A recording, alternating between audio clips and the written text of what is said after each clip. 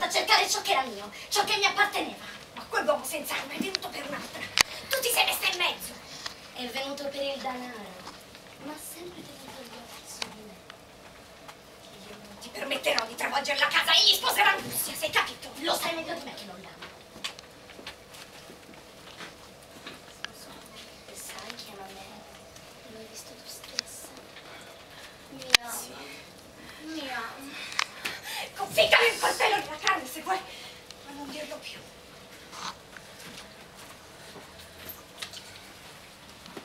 Per questo vuoi impedirmi di andare con lui. Che baci la donna che non ama a te non importa, non è nemmeno. Con angustia spostare cento anni, ma che baci me è una cosa terribile. Perché lo ami anche tu.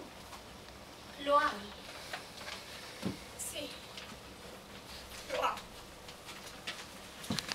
Lascia che lo dica fuori dalle coperte. E che mi si rompa il petto come una melagrana piena d'amarezza. Sì. Lo amo. Martina, Martina, io non ne ho. Non abbracciarmi! Non cercare di far piangere i miei occhi. Il tuo sangue non è più il mio. Vorrei guardarti come una sorella. Non ti guardo più se non come una donna. Allora non c'è più niente da fare.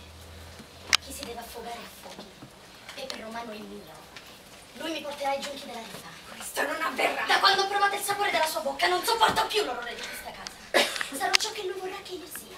E tutta la gente contro di me che mi bruci con le sue dita di fuoco. Che mi perseguitino tutti quelli che dicono di essere onorati. Mi metterò la corona di spine che portano le donne amate da un uomo sposato. Taci! Andiamo a dormire, sì. Lasciamo che si sposi con Augustia, se non me ne importa nulla. Ma io me ne andrò a vivere da sola.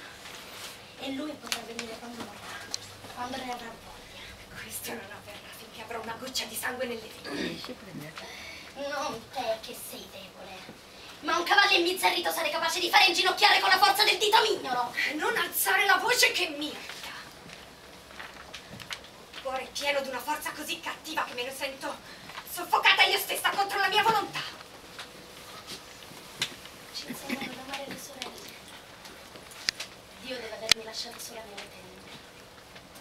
Perché ti vedo come se non ti avessi mai vista. Dove vai? Togliti dalla porta. Basta se ci riesci. Togliti!